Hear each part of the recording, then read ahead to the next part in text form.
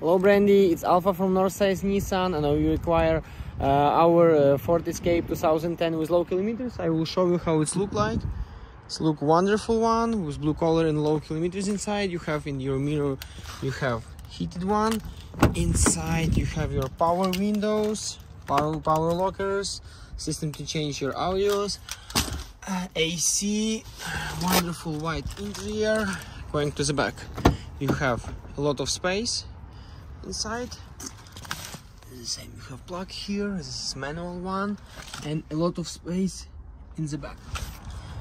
If you're interested about this vehicle just call 780-456-1449 or come to our wonderful uh, dealership. It's uh, located 13855 manning drive. See you